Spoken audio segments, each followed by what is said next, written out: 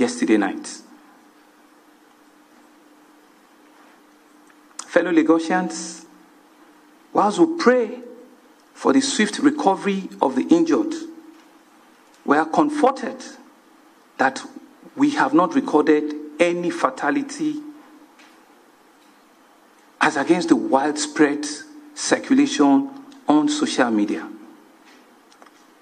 Both myself and the leadership of my Ministry of Health have been going round. Indeed, we went round all the hospitals